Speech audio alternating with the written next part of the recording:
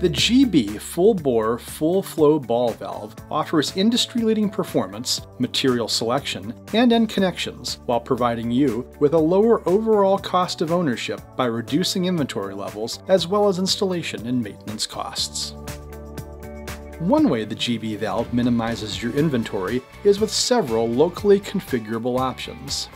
The GB valve body features a bolt pattern which can be used to add a lockout handle, panel mount kit, or an ISO 5211 pneumatic actuator.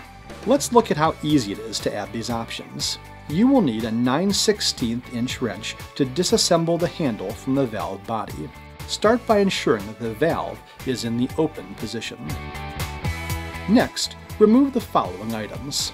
The upper stem nut,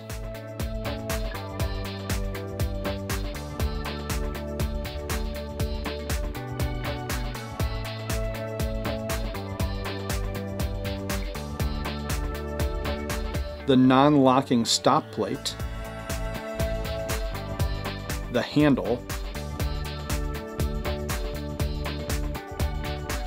and the grounding spring. Discard the non-locking stop plate and set all other components aside for later use. To panel mount the valve using a kit, cut mounting holes in the panel per the dimensions in the instruction card. The panel can be no thicker than 0.105 inch or 2.67 millimeters or 12 gauge.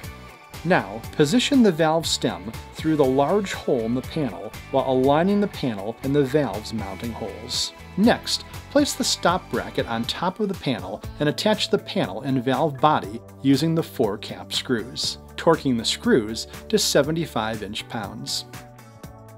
Next, assemble the grounding spring, lever handle, and stop plate by tightening the stem nut to 75 inch-pounds. Make sure the handle and stop plate are properly oriented and the stem nut goes on straight.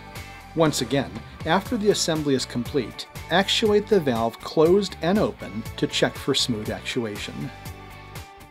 Contact your authorized Swagelok sales and service center today to learn more about how the GB series ball valve can reduce installation, maintenance, and inventory costs while meeting your advanced pressure and flow specifications.